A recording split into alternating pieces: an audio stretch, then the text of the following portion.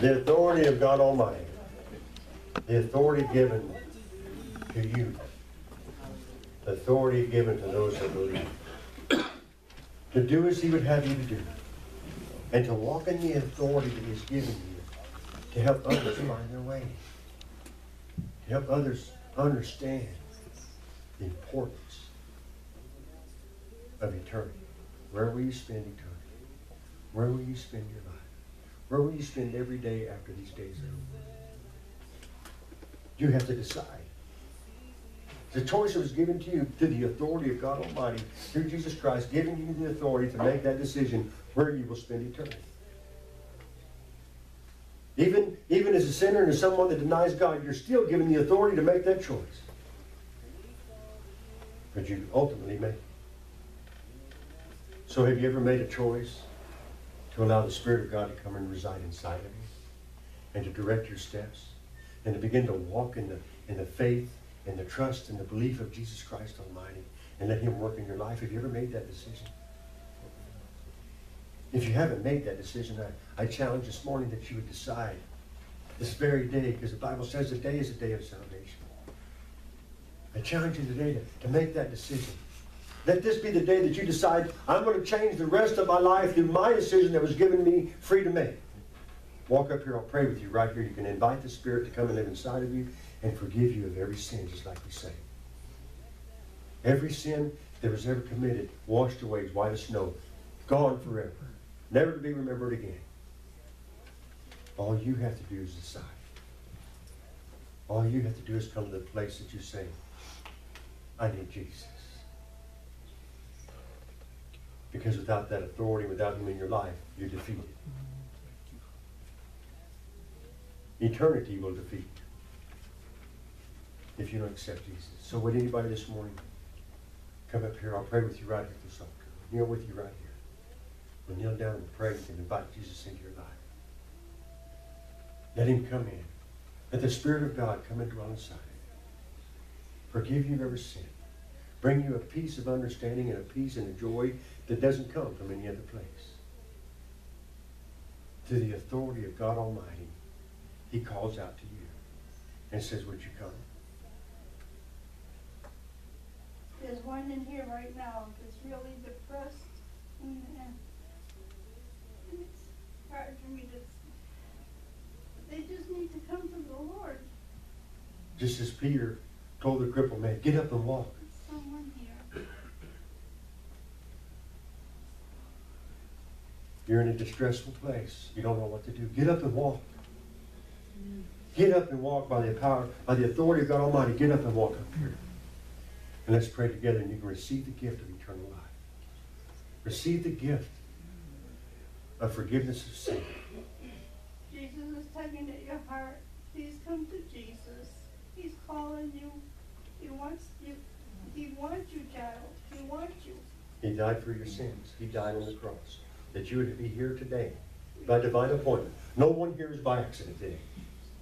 God appointed every person that's here to be here. Mm-hmm. And He appointed you to be here also. So would you let go of the world and grab a hold of Jesus this morning? Would you give Him a chance to, to begin to work in your life and show you His mighty power, His authority from God Almighty? This morning it's available right here. The invitation is open. Nothing to be afraid of. All it takes is that first step. All it takes when, when Peter reached out and grabbed the man by the hand, all it took was his willingness to allow Peter to pull him up. Allow Jesus to pull you up out of the miry clay. Yes. He's reaching out to you now to pull you up.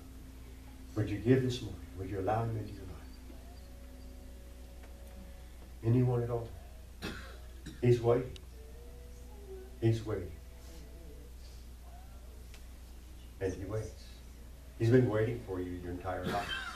He tells us in the scripture, I knew you before I formed you in your mother's womb. And he knew you'd be here today. So anyone at all. Today is the day of salvation. I visited a lady yesterday in the hospital that tried to take her own life. she just needed Jesus. She talked like she was a Christian or she knew God. But sometimes this world just gets you down and you don't know where to turn. And there is room at the cross for you. I was 34 years old when I was saved. God has done a miracle in my life. Allow you to do a miracle in yours. Mm-hmm. And we're praying for the girl at the hospital that she can be a miracle too. Because she lived. Faith is a grain of mustard seed. That's all it takes, a little bit of belief.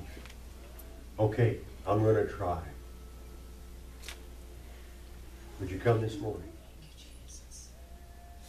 The Spirit is waiting for you to come and receive what He died on the cross for you to have. It's not asking for anything, it's simply receiving what He's already done. I plead with you this morning, don't wait another day. Because we have no promise of tomorrow. Tomorrow might not come. Where would you be? So would you come this morning? To know?